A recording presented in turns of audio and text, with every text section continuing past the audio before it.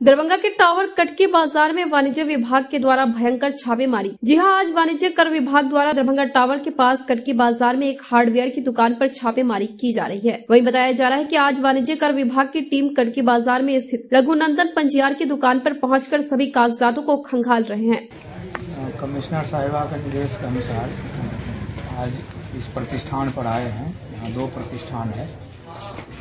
पंजियार कौन सा पंजियार है? ये रंजना देवी का है। कौन सा पेंट है भाई? कौन सा पेंट है? पंजियार पेंट। पंजियार पेंट है और वहाँ वाला का नाम है प्रभुनंदन पंजियार दोनों के यहाँ हो रहा है।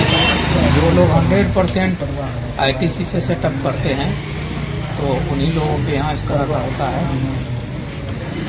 कहाँ पर कमी पाई गई है? कमी अब ये लोग आईटीसी से 100 परसेंट सेटअप कर रहे हैं। ठीक। तो और वैल्यू एडिशन पर नहीं दे रहे हैं टैक्स इसलिए इनका स्टॉक देखा जा रहा है कि इनका स्टॉक उस लाइक है या नहीं। तो क्या विस्तृत कुछ जानकारी मिली आप लोग को हमारी टीम काम कर रही है हम लोग काम कर रहे हैं। वेरिफिकेशन हो रहा है।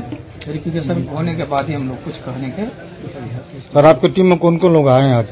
मेरे टीम में मैं कुशेश्वर राउत संजय कुमार नागेंद्र प्रसाद अनुपम कुमारी और सरिता कुमारी। सभी असिस्टेंट कमिश्नर हैं दरभंगा सर्किल से एक ही उसमें सरिता कुमारी आईबी से है दरभंगा आईबी से। Thank you